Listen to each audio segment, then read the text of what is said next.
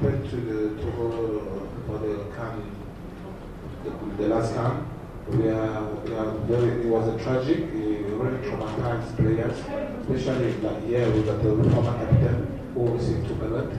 But uh, they, they didn't give up, and then uh, our push was for them to uh, come back. And then when they put their head up, and then everything went well, and they would wish the team should be the. Uh, what Adebayor brought to the team is first of all his squad, and uh, he brought uh, the, uh, the team spirit, give us more advance than another team. And for example, like me, I used to play soccer and uh, I was lucky to have a best captain like Michel Platini was doing the team spirit. That's why we went forward. We were lucky to be between the 16, the last 16, and we hope, we hope because we are the 16 qualified team, we will try to do. Anyway, we got teams like Algeria and Morocco who have participated in the World Cup.